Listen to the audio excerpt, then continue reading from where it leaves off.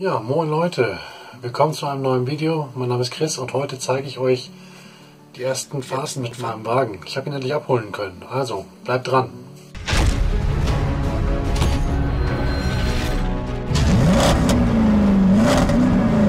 Ja, es ist ein bisschen spannend geworden, ähm, ob ich den Wagen überhaupt anmelde, ob ich den Wagen überhaupt noch nehme, ob ich den Deal platzen lasse. Woran das lag, seht ihr jetzt also Dienstag kamen die Unterlagen an. Der ganze Papierkram war hier bei mir im Postkasten ähm, vom Autohaus Amine.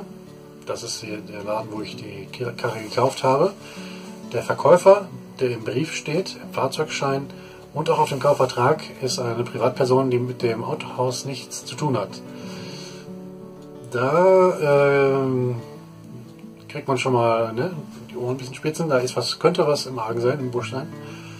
Ähm, dann dachte ich mir, okay, ich fahre Donnerstag zur Zulassungsstelle, die haben Donnerstag lange offen, läuft bei mir. Äh, auf der Zulassungsstelle habe ich erst erfahren, dass der Wagen äh, mit seiner LKW, mit seinen LKW-Unterlagen nur eine gelbe Plakette bekommt, eine gelbe Feinstaubplakette. Äh, auf dem Exposé, in der, das in der Scheibe drin lag und auch auf Autoscout, stand aber 4, die grüne Plakette, die vier, grüne, grüne Feinstaubplakette. Also ähm, habe ich da mal flott angerufen bei dem Typen und sagte, nö, wieso, kein Problem. Ähm, wieso sollte der keine grüne kriegen, ne? Also ich hatte jetzt den leichten Verdacht, dass da irgendwas faul ist. Ähm, es hatte sich schon verzögert mit den TÜV-Gutachten, weil eine ABE-Nummer fehlte, eine Zulassungsnummer für Zusatzanbauteile für den Wagen. Das ging wahrscheinlich, es ging wahrscheinlich um die Laderaumabdeckung. Der Ding, der Wagen ist hinten ja zu, das ist kein offener Pickup, sondern hat hinten was um die Ladefläche drumherum, ein Dach und eine extra Luke. Dafür fehlte die ABE-Nummer. Deswegen hat er kein TÜV bekommen. Das vermute ich zumindest so. Äh, denn jetzt bei der Abholung konnte mir der Typ auch keine ABE-Nummer zeigen, keinen Schein dass das Ding wirklich abgenommen und zugelassen ist. Und wegen dieser fehlenden ABE für die Abdeckung hinten habe ich den Wagen erstmal nicht zugelassen. Und auch weil dieses Mismatch da war, diese komische Frage, warum kriegt er jetzt eine grüne, warum kriegt er eine gelbe, kriegt er überhaupt eine, wenn ja welche. Da das nicht klar war, habe ich am Donnerstag gesagt, nee, stopp, ich äh, melde den Wagen heute nicht an, eventuell muss ich den die platzen lassen. Irgendwas ist da faul und habe dann nochmal angerufen, habe versucht das zu klären, äh, habe nochmal zwei Nächte drüber geschlafen und bin dann aber trotzdem hingefahren. Und zwar heute. Heute ist Samstag, morgen kommt es hier raus, also für euch gestern. Bin ich äh, nach Eschwege trotzdem gefahren, habe mal einen Kumpel eingepackt. Ich zeige euch zwischendurch natürlich hier noch ein paar Clips, wie es gelaufen ist, wie die Tour war. Also wir sind ähm, mit öffentlichen Verkehrsmitteln erstmal gestartet Richtung Frankfurt, da zum Hauptbahnhof. Also soweit alles okay kein Problem. Oder in Frankfurt der ICE Richtung Dresden bis nach Bad Hersfeld.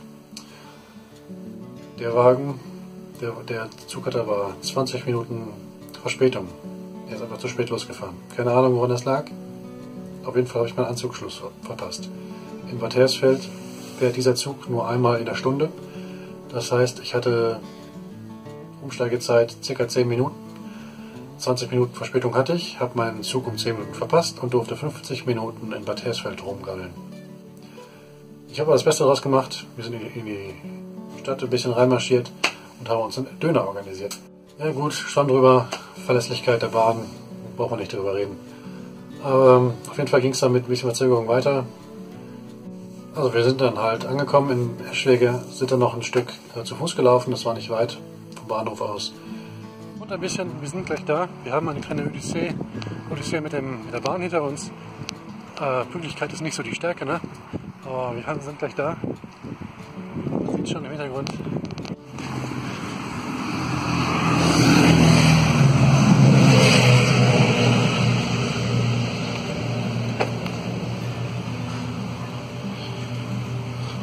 Und dann sind wir natürlich einfach direkt mal losgesprintet mit dem Wagen, als wir alles eingetütet hatten. Wir hatten die Kohle hingeblecht, die letzte, die letzte fehlende Kohle.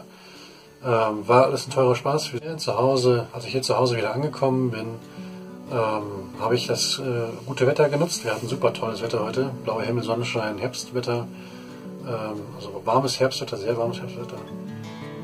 Äh, schönes Laub im Hintergrund, super. Ich habe ein paar Bilder gemacht, ich zeige euch zwischendurch ein paar Sachen. Auch was jetzt die Abdeckung hinten angeht, worum es da geht, zeige ich euch hier.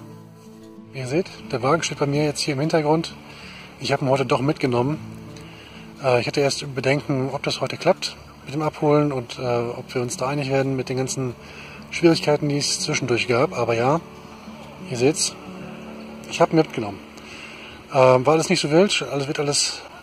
Und äh, ich zeige euch mal ein paar Eindrücke ringsherum. Warum ich heute so Bedenken hatte, ob das was wird. Ähm, denn der Händler, ich weiß nicht, wer es gemacht hat, hat TÜV gemacht für diesen Wagen, neuen TÜV drauf. Allerdings hat er für diese Abdeckung hier keine AWE-Nummer. Die konnte er mir nicht mitgeben, deswegen frage ich mich, wie hat er den TÜV gemacht? Ich denke, das wird den TÜV interessieren, was da hinten drauf ist. Ich werde mir versuchen, die ABE dafür zu organisieren. Aber wenn ich die nicht bekomme, glaube ich, ist das nicht so schlimm, denn das hinten alles kommt ja eh weg. Früher oder später, eher früh. Ja, und die Abdeckung hinten, der Laderaum ist eigentlich ganz cool. Ähm, eigentlich schade drum, das Ding wegzutun. Ich zeige euch mal was. Kurzes Geständnis, es ist fast schade drum, dieses Dach hier, diesen Überbau, diese Abdeckung in die Tonne zu kloppen. Ich finde die eigentlich ganz cool. Aber kommt trotzdem weg. Ich habe jetzt gerade hier, man sieht es ein bisschen, ich bin hinten mal, ich bin in die Ladefläche reingeklettert. Hier, schaut mal, das Ding hat ja sogar klemmende, klemmende Schiebefenster. Eine Dachhimmel, also ja, das Licht ist gerade schlecht. Ich nicht mal so, so ist es nicht besser. Hier, gibt mal Licht. Es gibt Licht. Und hier, ihr habt schon gesehen. Moment. Ist ein bisschen schwierig gerade hier zu hantieren, muss ich zugeben. Denn mein Akku ist leer und ich habe die dicke Powerbank wieder dran gemacht. Ja, das ist gerade mein eigentlicher Akku. Damit kann man übrigens, ich glaube, zwei oder drei, nee, zwei Handys zeitgleich laden. Und ich glaube, das sind drei Ladungen möglich insgesamt, bevor die Powerbank wieder leer ist mal so, also 24.000 Milliampere Stunden. Und hier noch ein kleines Goodie. Ah, ich habe es nicht ausprobiert. Ah, jetzt hier. Ein Aufstellfenster. Ja. Und wieder zu. Nochmal von außen das Ganze. Also hier, das ist der, äh, die Laderaumabdeckung, die wegkommen soll. Hier mit Schiebefenster, eigentlich ganz cool. Dachgepäckträger dabei. Ja.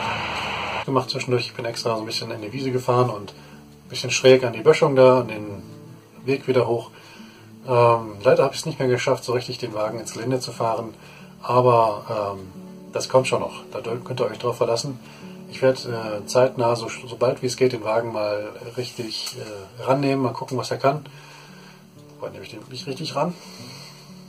Ja, Ihr werdet sehen. Ihr werdet schon noch sehen, was ich damit mache. Ja, und was wäre denn das Problem gewesen aus meiner Sicht? Also die ABE-Nummer für die Abdeckung hinten hat gefehlt. Ja, gut. Ist nicht, ist nicht äh, okay eigentlich, aber ich will das Ding eigentlich ja nicht behalten. Das Ding soll ja runter. Und ähm, die Plakette kann man in Ordnung bringen. Er hat jetzt eine LKW-Zulassung und bekommt damit eine gelbe Plakette.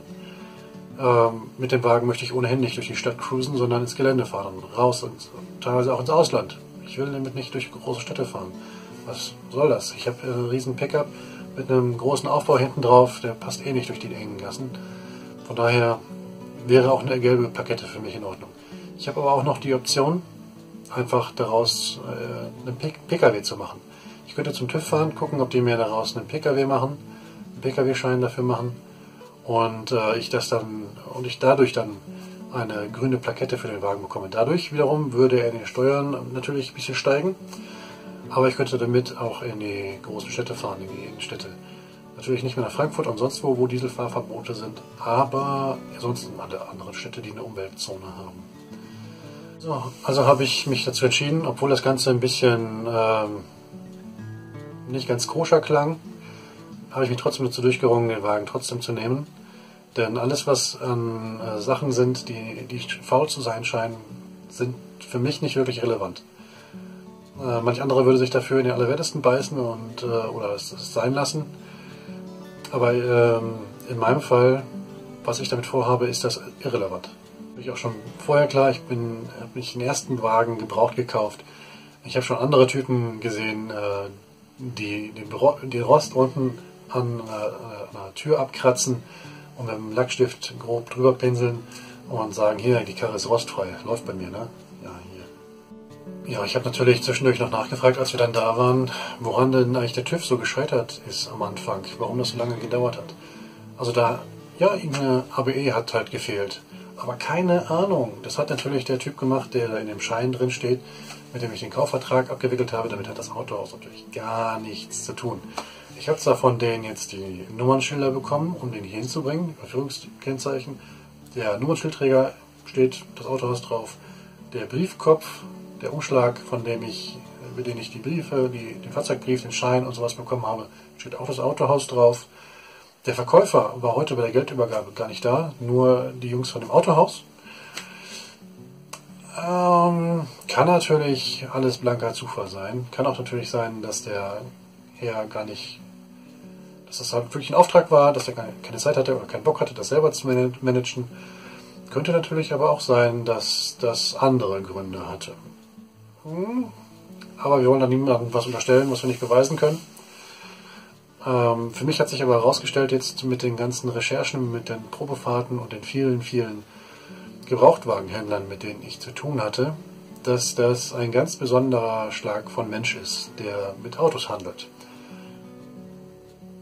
Also was Zuverlässigkeit angeht, Ehrlichkeit manchmal auch.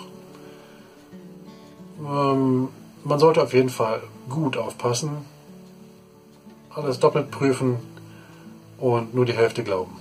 So viel dazu. Da habe ich jetzt, während wir den Wagen abgeholt haben, während der Geldübergabe und dem ganzen drumherum, äh, leider nicht so viel gefilmt. Hätte ich gerne noch ein bisschen mehr gemacht. Ähm, war aber leider nicht gerade so möglich. Ich war zu viel, zu sehr konzentriert auf, auf das, was da jetzt lief. War ein bisschen zu wichtig und ähm, von daher leider jetzt keine, keine großen Eindrücke von, von dem Autohaus. Ähm, wer mit einer gesunden Portion äh, Skepsis und gesundem Menschenverstand drangeht, äh, ist da eigentlich ganz gut aufgehoben. Ähm, bei dem Autohaus in Eschwege. Äh, die haben eine ganze Reihe Pickups, wenn man sowas sucht, wenn man dasselbe vorhat wie ich vielleicht, ne? was nachmachen möchte, sich einen Pickup kaufen und was draus bauen. Äh, die haben da immer eine ganze Reihe Pickups auf dem Hof stehen. Sucht euch das Richtige raus, guckt, dass die Karre in Ordnung ist und dass das drumherum auch passt, ne? Äh, dass da kein, dass da keine Unstimmigkeiten sind, dass da keine Missverständnisse entstehen. Und dann könnte man da eigentlich zu guten Preisen was kaufen. Ja, und im nächsten Video wird es dann äh, mal um das Thema Feinstaubplaketten, Diesel, Fahrverbote und dergleichen gehen. Alles, was mich heute in der, oder in der letzten Zeit mit dem Kauf meines Wagens beschäftigt hat, was schief ging, worauf man achten muss, auch wie man herausfindet, welche Feinstaubplakette für welchen Wagen wirklich ähm, erlaubt ist und welche nicht. Darauf gehe ich im nächsten Video ein. Das ist eigentlich ein interessantes Thema, gerade wenn es jetzt um Dieselfahrverbote geht. So, jetzt nochmal was anderes zwischendurch. Und zwar, ihr könnt euch denken, mein Hobby ist denkbar teuer. Äh, eine Karre kaufen, eine Karre umbauen und dann noch was hinten drauf basteln, was nicht ganz typisch ist. Kostet nicht nur Zeit, es kostet auch Kohle. Ähm, deshalb jetzt, ich hoffe, das stört euch nicht zu sehr. Ähm, ich werde unten drunter äh, mal was rein äh, verlinken.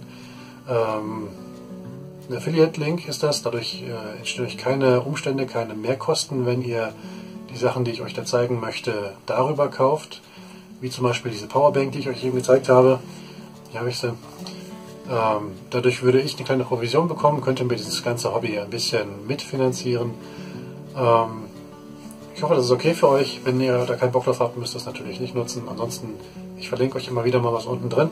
Wie zum Beispiel hier meine Powerbank. Ist natürlich made in China. Ähm, hat aber dafür 25.800 Milliampere-Stunden, das sind 95,5 Wattstunden, wie ich in dem Video schon gesagt habe, vorhin in dem Clip. Da kann man gleich zwei, zwei Geräte zeitgleich aufladen und ähm, ich meine, es sind drei komplette Handyladungen, die da in der kürzester Zeit durchgehen. Dafür muss das Ding selber aber über Nacht, ich glaube, acht oder neun Stunden laden. Egal, aber cooles Teil. Also, also wenn euch das Video gefallen hat, natürlich das like, den Like da lassen. Ähm, abonnieren nicht vergessen, falls ihr es noch nicht getan habt. Die ganz krassen unten auch noch die Glocke, damit ihr nichts verpasst. Ansonsten freut euch auf das nächste Video nächste Woche. Und dann schönen Tag noch, haut rein. Ciao, ciao.